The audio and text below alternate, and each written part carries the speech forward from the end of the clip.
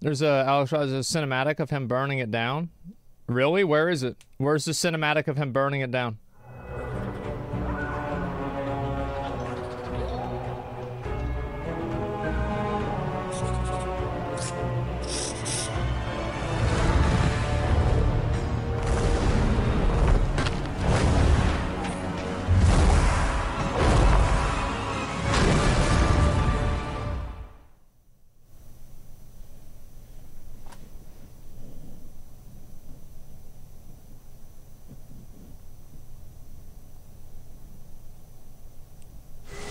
Illidan just grabs him and fucking evaporates him.